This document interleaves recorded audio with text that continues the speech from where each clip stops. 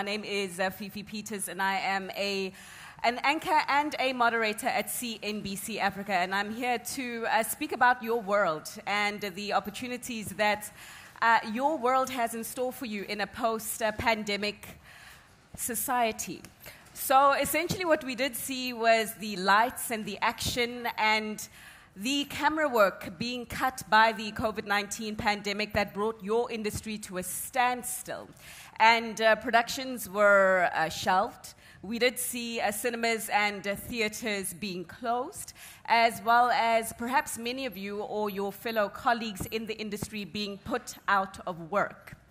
Uh, but as I see it, I also think that the pandemic has uh, provided a lot of rich content, uh, particularly if we look at the fact that it uh, did give us the most unprecedented experience of the 21st century. And uh, so, as we are talking about a post pandemic recovery, we are discussing how Gauteng, which is the economic powerhouse of the African continent, can position itself as an ideal location for film production and also a gateway into the rest of the continent.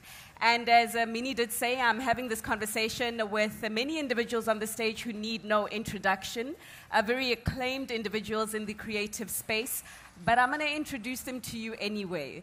Uh, starting with the uh, wonderful lady on my right, Miss uh, Lebaka who is the interim CEO at the Gauteng Film Commission, as well as chairperson of the Africa Leadership Transformation Foundation. Good afternoon, ma'am.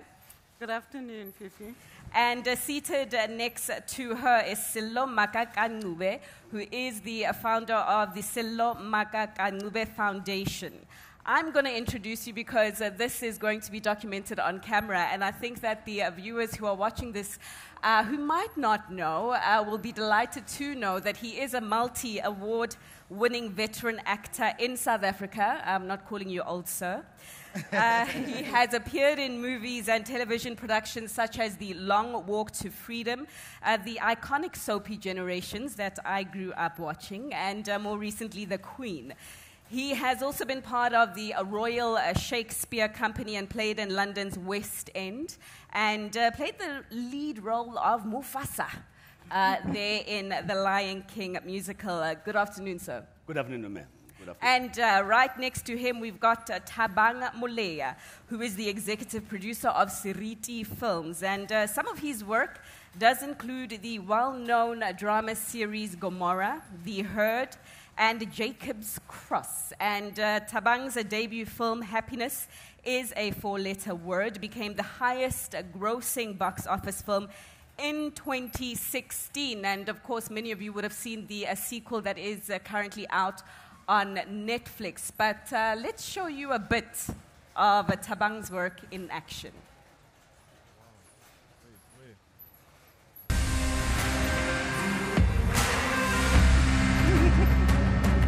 You've been embezzling money from your bank. I can. And we've been watching you for quite a while now. Don't I look stunning? Sports cars. Trips abroad. I'm not talking about that, Varley. Yes, so we China Matani, hijack letter. Your phone got shot.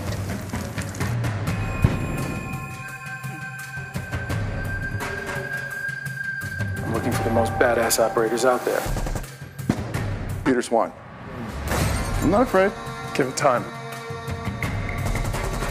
Getting shot isn't as bad as I thought it would be. Yeah? Tell that to your hands. Sure giving his client his money's worth?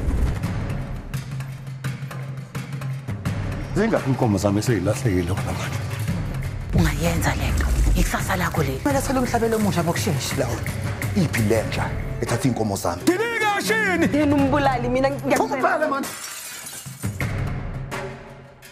We've been looking at your performance lately. welcome to the big boys He specifically requested you. You're a truly amazing woman. You are a client. Okay. you still love her What more could you ask for? I actually don't know what I want. Well, you better figure it out. Lies all this time! Enough of this sappy nonsense. 16 year old boy from Boksburg. I'm not gonna let you go.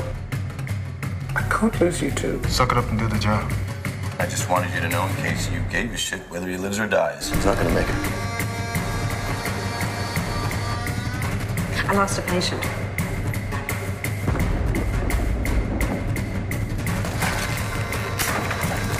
I need your help.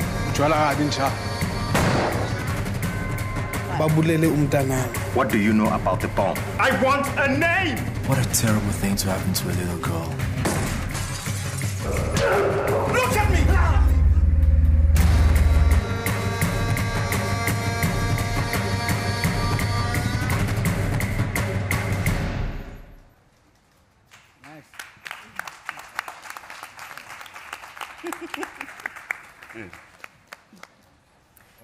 About your work speaking for yourself. Well done. Yay. uh, and uh, then we also have uh, Pearl uh, Maake Ka-Ncube seated next to uh, Thabang. Welcome, ma'am. Thank and you. Uh, she is the executive brand advisor at uh, the Dr. Winnie Mashaba and uh, also uh, the uh, brand uh, uh, um, advisor for uh, Mr. Sello Maake Ka-Ncube. The two work very closely to, uh, together. Welcome, ma'am. Thank you. You want to say something before you introduce? No, no, no. I'm, You want to, you know, hint, hint at the uh, last names. Nonetheless, I'm, I'm just watching it how Brazil is smiling. uh, and the man who was forward enough to start speaking before being introduced, but nonetheless, we love it. We love it. Mr. Kagiso Modupe, who is the founder and executive producer of Bakwena Productions. Also, an award winning uh, actor and producer known for the films uh, Koch Helen, Unpredictable Romance, and Losing Lerato, which he acted alongside his daughter. Yeah. Uh, that particular film actually won uh, six uh, awards. Uh, I, um, I miss you on Scandal. But, Yeah. Um, yeah, no, we'll talk about that offline. Nonetheless, uh, welcome. Thank you very much. Yeah. Yeah, yeah. Uh, so let's get straight to the order of uh, business. Uh, because, hey, Halala. all right, we'll try t- to keep it together. Why? Uh, Moya, why? And it worked. And it And it worked. I love it. Uh, so, we are talking about uh, your industry trying to emerge from this uh, crisis in one piece. And uh, as a reporter, I can say that uh, we have read the horror stories of what has happened to your industries by way of the statistics and the thousands of people that have been uh, left without income and without jobs. But perhaps let's make it a bit personal. And I'd like a personal account from uh, a few of you uh, who are in the, or who have skin in the game, as uh, they say, as to how the pandemic affected your world uh, personally. And uh, Sello, can I begin with you, sir? Wow, okay, thank you very much. It's a very difficult question because how do you come out of the, the you know, the COVID um, uh, effects? And the thing is to sit back and just moan about what we lost is not going to help us at all. All we've got to do now is how do we take the industry forward? How do we make um, the industry in such a way that it is not solely dependent on you know what is the presence of people and all that because uh, the most of the spaces that were affected or the the aspect of the creative industry that was affected most was the theaters because theaters are dependent on the audience. Uh, the music events they are solely dependent on people coming together you know. But uh, i think as far as television television was the one that actually just you know in the middle of what level three, level three was it level three? You know the doors began to open and actors who were working in that space you know began to work. But actors were working in, in the theater there, there was a, it was a no-go area. And even now we are just busy like teetering on the whole thing. So moaning about what happened will never help us. You know it will be like scra- uh, crying over spilt milk. What we need is to take the industry forward. How do we make it in such a way that even a live performance performed in the theater but captured digitally could still work? I think Right. that's the you know we've got to look, find new ways on, on circumventing whatever challenge that we will get Right. yes So we're not going to mourn. but we are going to go down uh, memory lane or go to the past a bit Yeah. just to see what we can learn.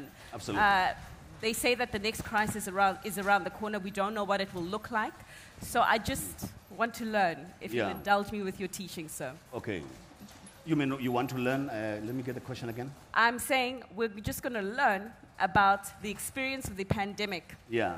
Such that we can use that learning and that experience to better position us for a perhaps less disrupted walk forward. Absolutely, and uh, you know, and that is not something. It's not a solution that will just come up, you know, Sure. the, you know, at the snap of a finger.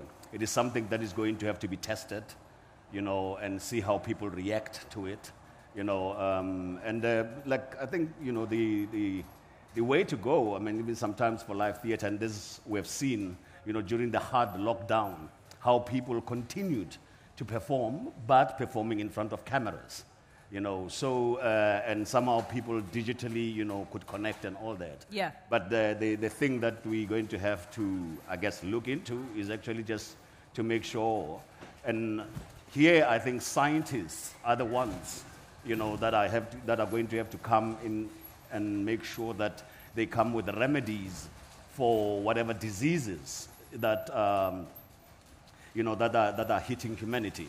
I mean, I remember one of the things that I had planned for, um, what is it, 2020, Sure. was actually to do a performance of a, of a, of a play which was going to be centered around using the tourism industry.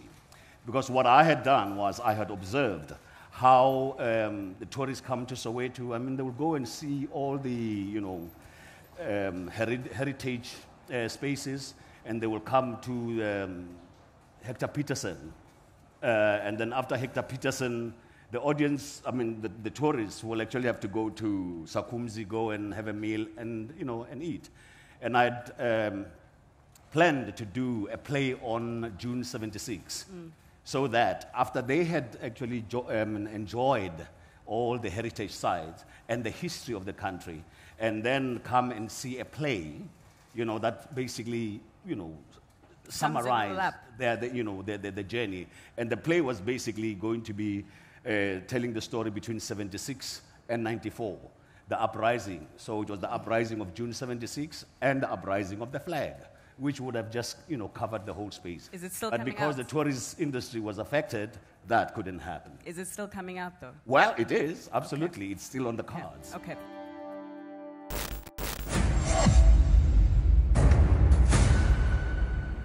They say, unlike a restaurant, life has a tendency of dishing out what you never ordered. That's where the expression, life is unfair, stems from. If I were to say life is unfair, it would be an understatement. You've been yellow boned. If you want to kill yourself, you must do it alone. I told Gogo I got a part time job doing promotions over the weekends. Just like everyone who makes a deal with the devil, there is always a price to pay. What are you doing as a school to prevent bullying? To take it upon ourselves to conduct an internal investigation.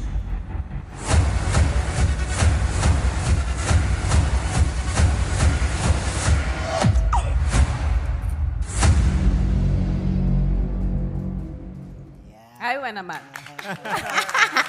Dinana. I love a person who claps for themselves. Yeah. we did well in this pandemic. man. Self praise. Uh, Tawan, uh, I see that you have got uh, audio. So, so just yeah, your reflections of the past 20 months, what's it, what it's taught you about your industry uh, going forward. Um, sure. I thought this mic wasn't working.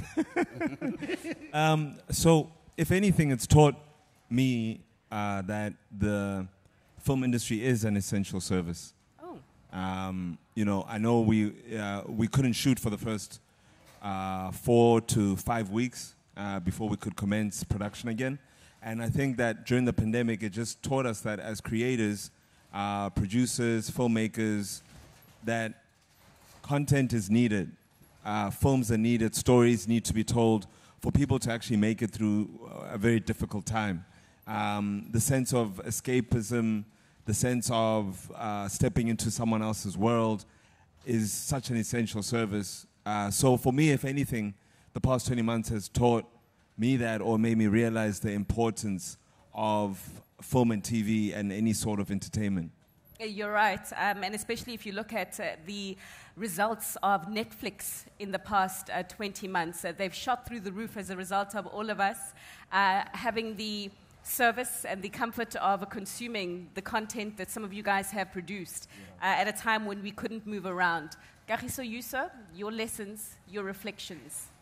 My reflection is, in honesty, we we came back from you know from the you know from LA, and we had just won 10 international awards, and at that time, on the day we landed, the president shut down. You know, so it was a it was a bit of a shock for us, but for me, what I've learned is that as artists, we need to get out of our comfort zone.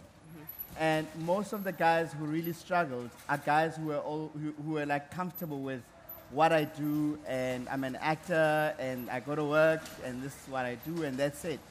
But what I've learned is that people now, as artists, we need to start diversifying and not just be an actor, but be an actor and be a director. Sure. Uh, be, be a writer. So I spent most of my time having to write, and we've got four projects. By the time uh, you know things started easing out, we were in work mode, and this is the film that we shot, and and we're going to cinema with it, you know. Um, and there's other productions that are there, you know. so, so for me, I think that's the lesson that, that we have learned, is that you know we need to start understanding ourselves as a business, and not just as entertainers. We need to see how you know other revenues of, of what we do, you know, can be helpful to us. Find other paths. You know, that's that's that's basically what, what I learned through through this whole pandemic. You know, true. and and to agree with Thabang as well to say when when everything else was shutting down, our industry was still alive because people needed content. People needed to, to consume something. People needed a stress reliever, and, and, and, and most of the people were working from home. So, so you know, this, this sector should have been one of the sectors where, you know, um, should have been allowed to at least function so that we could, we, could, we could keep the people entertained. And, and we realize the importance of, of, of our sector and, we, and the messaging that's, that's behind it. You know, uh, we, we've, we've, we've taken entertainment as just, ah, it's entertainment, it's entertainment. But during COVID, we realized that we have an influence to millions and millions of people.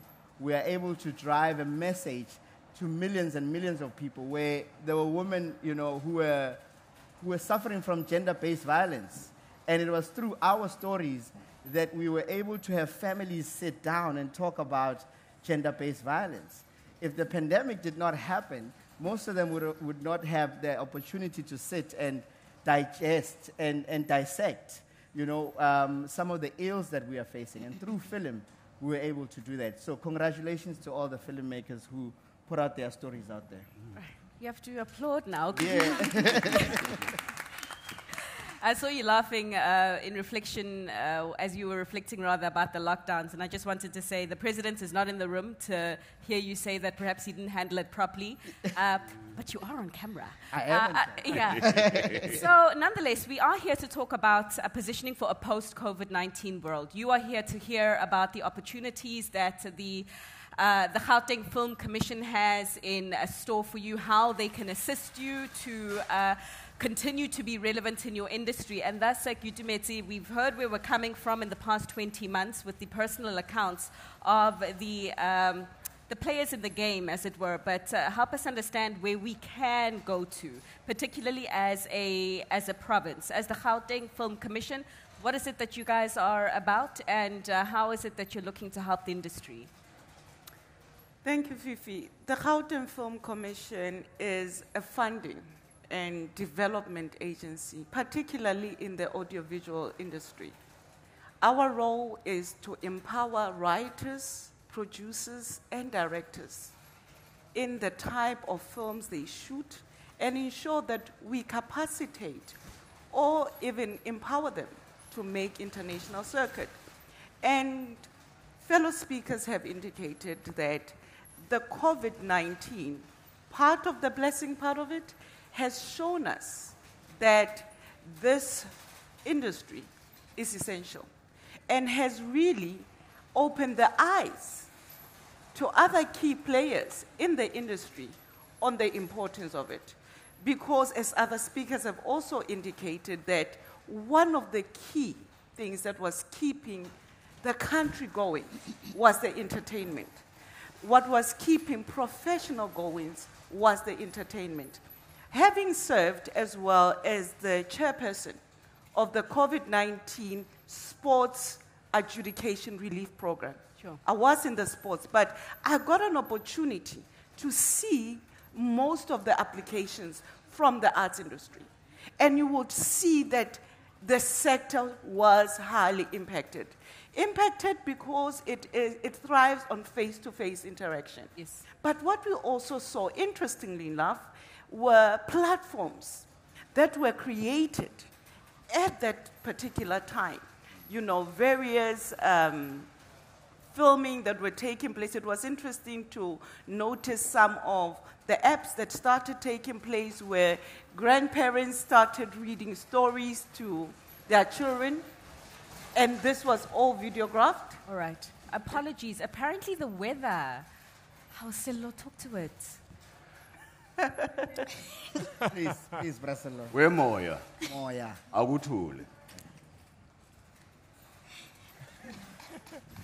But apparently, ke a leboga, Papa, but apparently this weather is uh, disturbing the uh, production and the conversation.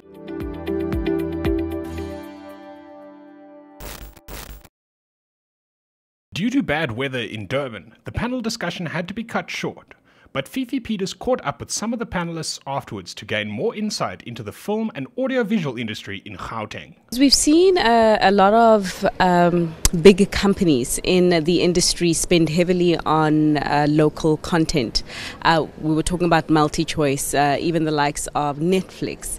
But as a, a producer of local content, what opportunity do you see for African content to be consumed a lot more in the rest of the world?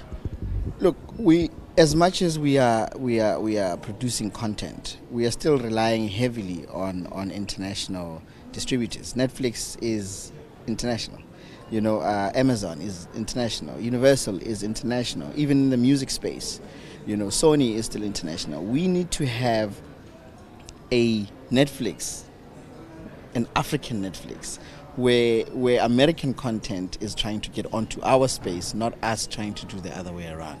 So that's what we're trying to create, and that's I think for me that's that should be the vision for Africa.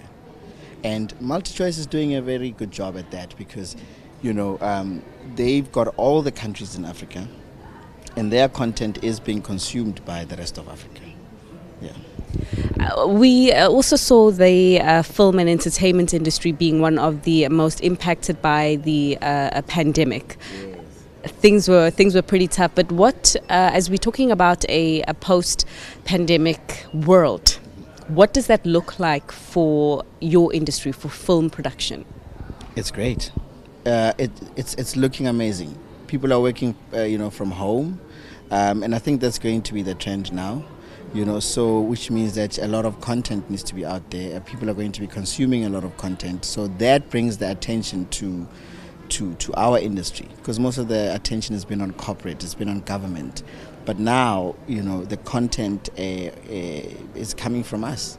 And corporate needs for us as content producers to be producing and and putting out their message but as uh, local uh, content producers, are you finding that access to uh, markets and access to the spaces of some of the uh, big distributors of content is is uh, easy to get into? I don't know if you quite understand what I'm trying to ask, but uh, many a times you'll find that a, um, a, a, local entrepreneur, be it in whichever sector, finds that uh, you know trying to fight it off with the uh, bigger companies in the industry is a lot more difficult, and they shut out. And I just want your experience of access to markets and the mainstream platforms. I think it's a perfect question, especially for me, because that's what I went through. You know, uh, I'm an independent, and and I had to go and school myself.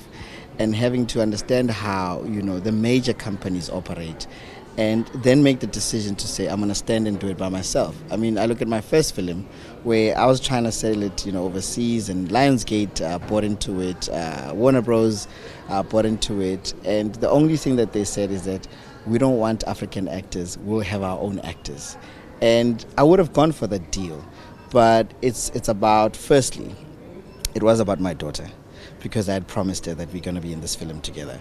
But secondly, it was about saying, look, I, as an African, I, as a content producer, uh, I'm able to produce the same uh, quality uh, as Warner Bros, as Lionsgate, and I need to, to really just you know, and just, just stand your ground and, and go against it, yeah. Just finally, uh, going back to this conference where we have seen a lot of uh, policymakers attend, we've seen a lot of uh, big business attend, as well as um, the small to medium enterprises. But from a policy point of view, what needs to change to uh, help your industry uh, capitalize more on the opportunity that you have described in a post COVID 19 world where we're going to be working from home a lot more and needing to consume a lot more content that perhaps is on the shelf because the environment is not easy to get it off the shelf. Policy is created by the people, and that's one thing that we tend to forget. How Nelson Mandela took over this country, it wasn't based on policy, you know, and we, we, we're taking that and we're throwing it out the, the window. We're not going to wait for policy. We're not going to wait for some people who don't understand what the industry is about to create policies for us. And that's why I'm the first black, actually, I'm the first producer in Africa to pay royalties, you know, which is some of the, uh, you know, uh, the issues that we are fighting for. And we've been fighting for it for a very long time. So we need to start being the change that we want to see in the industry.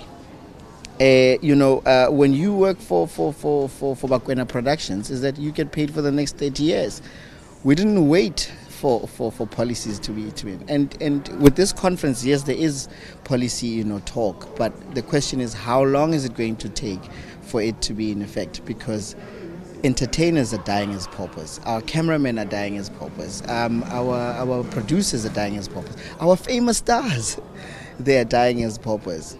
Let's be the change that we want to see I think um, it will be interesting to see how many other uh, productions follow in your footstep, uh, particularly regarding royalties. It's a very important uh, step that you have taken, but we'll leave it there for now, sir. Thank you. Okay, so we were talking about the Gauteng uh, Film Commission, um, what you guys are about and what you guys are doing here at the uh, trade fair. Thank you very much, Fifi. Gauteng Film Commission is really a bridge to discover various film locations within Gauteng. We know that Gauteng is the bedrock of the film industry. Over 54% of productions take place in Gauteng. And we also declare that Gauteng is a home of champions because if you see many people that come from various provinces across the country, they come to Gauteng. And it has been that place historically. The reason we're coming here is one, we need to engage with Africa as our counterparts in order to bring investment of film into Gauteng as a province. This for us is a way of empowering filmmakers in the province, emerging and established. It will also allow opportunities for collaboration in other countries as well because we see Africa as a whole big continent. And for us, it is therefore very important to start having these conversations with our counterparts. So, would you say that Gauteng uh, is open to our neighbors because uh, at certain times we haven't always shown ourselves as South Africans to be welcoming to the rest of the continent. Gauteng is um, open to our neighbors, and especially, you know, what we've seen is that there are films that are taking place that are being shot by our counterparts in Gauteng, you know, and um, what is important is for us to then start having an open door approach and start having discussions to say if we are to engage, what are our rules of engagement? How do we engage here henceforth? And also be able to share the bigger vision because we believe that Africa is not even the next best thing, it is the best thing. And we need to start collaborating and showing the world that we are the best thing.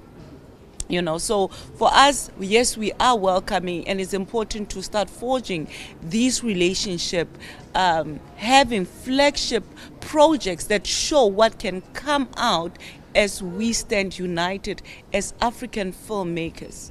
It's already happening in some parts with most of the production companies, and we need to then widen the net to say how do we create this more viable partnership. In terms of uh, some of the work that the uh, Gauteng Film Commission does, uh, you assist some productions uh, with funding.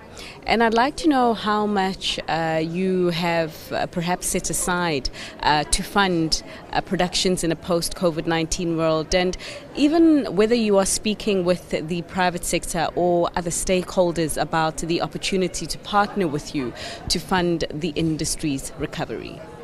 All right, let me start off by saying that over the last 10 15 years, Gauteng has funded more than 400 projects as a commission. We have also uh, trained more than 30,000 students in the industry. We have also indirectly contributed to over 21,000 jobs. So, having said this, it is important to note that as the GFC, there is a course that we, we, we are calling for. Now, when we move on to say, how do we help opposition after the COVID 19, we realize that the COVID 19 has impacted the industry, we realize the importance of having a recovery strategy. And our GFC Discover is just that campaign to say we've gone through a rough patch. How do we recover? How do we reignite? How do we empower our writers? How do we empower our producers? How do we empower our directors so that the movies that they shoot make it into the international circuit.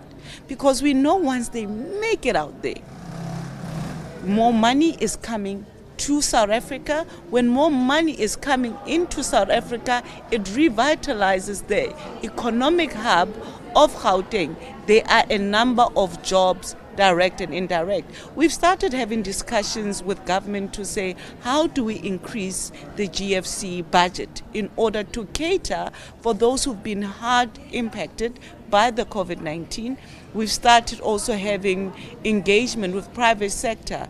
And, you know, for me, it has been the openness that private sector is saying, how can we engage as well?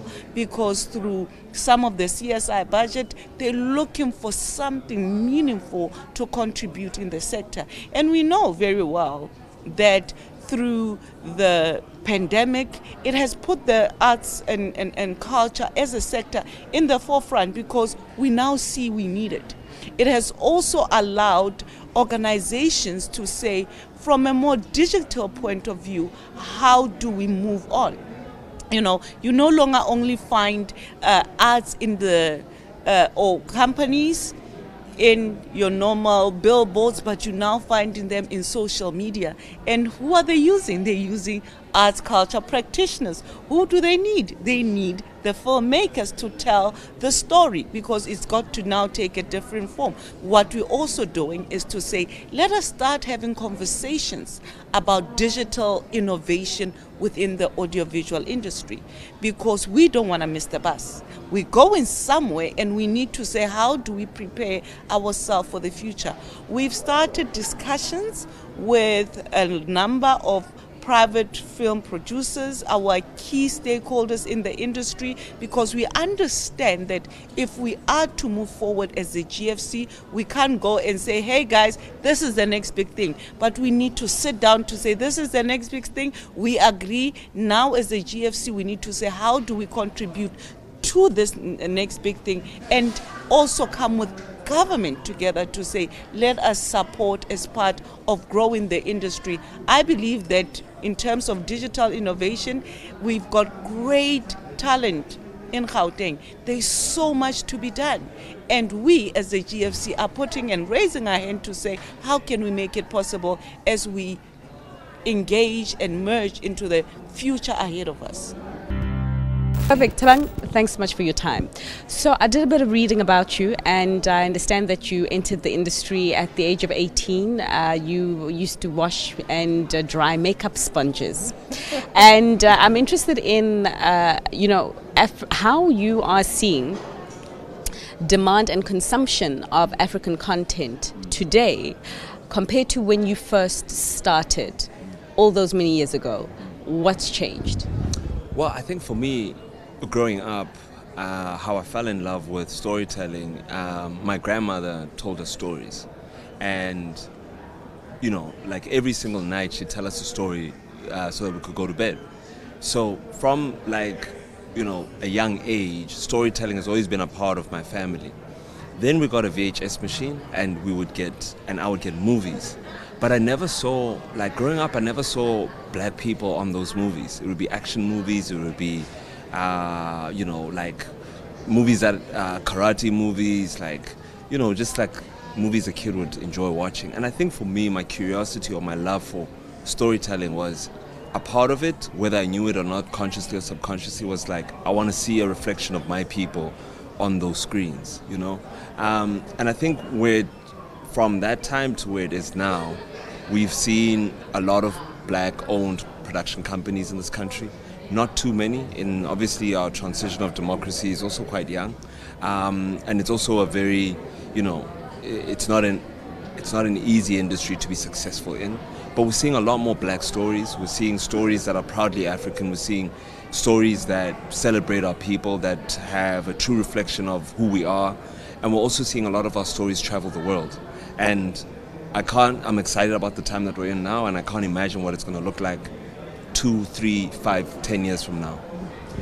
Do you think, I mean, as we are having this conversation here at the Intra Africa Trade Fair, do you think there is an opportunity and a need for uh, stakeholders from government to business to support the industry a lot more in accessing some of those export opportunities that you have spoken about? And what does that support look like in your view?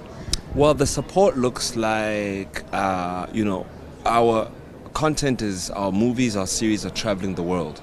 Um, the ownership is what's going to be the legacy. We've seen too many legends in our industry that have worked 30, 50 plus years, and when they pass, they don't have anything to leave for their families. Um, whether it's people in front of camera or behind the camera, ownership is so important. And how we get to own that is we get to go into collaborations with streamers where it's licensed deals where the streamers have a percentage and the creators have a percentage of the work that they're um, streaming out to the world. That's the only way that we're going to see a lucrative industry for the people that are actually on the ground working it. Talking about streaming and uh, different platforms of consuming content, up until uh, about a month ago, I uh, was one of those who believed that the cinema was dead. Then I went to go see the James Bond movie, and um, I've changed my mind. But in terms of distribution and uh, content platforms, how do you see things changing after the pandemic? Just uh, talk to me about uh, the what changes in terms of the uh, traditional platforms we used to use, we used to consume content from television to uh, film on the on the uh, cinema and now you know with streaming? What changes? So i don't think that you know there's i don't think cinema is going to die because i think cinema is a culture of uh, it's in as much as you say i'm going out for dinner or i'm taking uh, my nephew's out for paintballing or I'm going to the arcades with the little one. Like, it's a part of uh, people's um, day or evening, you know. So that culture of buying popcorn and sitting in a big screen, even though you have as many like three or four platforms of streaming at home, whether you have Netflix, Amazon, um, Showmax, the culture of still going to the cinema is an experience. So the experience of cinema, I don't think will ever die. What's happening in our household is that the uh, the op- the options of where we want to watch content has extremely become like available to, and also you know it's the middle age. It's it's you know it's the middle middle to high end income kind of people, right? What we haven't cracked yet is like people that want to consume content but can't really afford subscription, right? So it's the security guards, the mamas that are helping with cleaning, or those like people. People enjoy watching content. It doesn't matter how much you're earning, right? So it's really about creating a streaming service or streaming platform where you know maybe their subscription is five rand a week, they'll pay. I definitely know that they'll, you know. So it's really about like I would say, you know, uh, your telecoms. I think that I think uh, people in the telecom space are missing an opportunity at saying, let's champion. Like all of the like people are competing for this market, but no one's looking at this market, which is actually your mess, you know. Um, so I'm excited about where content is going and how people are consuming it. Um, and all, especially with the youth as well, with Instagram, with TikTok. It's just like people are actually making lucrative uh, business and being able to support and grow their livelihoods from things that we wouldn't have imagined five years ago. Talking about the youth, uh, what has featured quite prominently at this conference is the importance of maximizing the potential of a big uh, young population that this continent does have to offer, but a young population that uh, presently doesn't have access to opportunity or even jobs. What kind of uh, opportunities by way of employment uh, can your industry offer the youth to help put a dent in the horrific rates of unemployment that we see in this country? You know, the thing that we always talk about is training, like training, workshops, workshops, internships, and we can talk about those till the cows come home. What the problem is, is that the, there's talented youth that have paid exorbitant amount of fees over two, three years, even short courses, and they have been trained and they do have the skills, they don't have the opportunity. So that's the huge gap that's actually happening. We're spending a lot of time on training, and we're not looking at the gap that's saying actually we've got you know half a million to a million students who actually have a really good understanding and have been trained and have diplomas whose parents have paid too much over the period of studying this like uh, this medium and they don't have those opportunities. So that's the gap that needs to be filled. How do we fill that gap? We need to give them the opportunity to create the content. We need to give them a platform where that content can be seen. We need to, once that platform is created for them, they can start earning and start making, like, you know, income from they've studied. Now it's time for them to actually start working. So that for me is like you know there's so many programs that i've seen of training and like short courses and but a lot of the time because i'm so i'm on the ground with the youth a lot of the time they're like can you give me an internship can you give me an internship can you give me an internship and we don't have enough companies to give to do single one two three individual internships we need to actually challenge ourselves and say how do we create a platform for this, these talented individuals to be able to make an income from the skills and the knowledge that they have in the medium of film and TV.